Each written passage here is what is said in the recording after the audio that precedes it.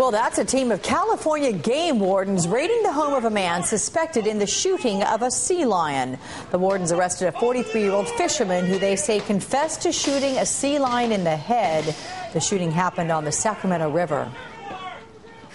Some people believe that environmental crimes such as this are not that big of a deal. You never know going into a house like that, uh, subject um, with firearms. And the game warden says the man told him he did it because the sea lion kept taking his fish. The sea lion hasn't been seen in 10 days, but officials say if any animal can survive, it would be the sea lion because of its thick skull.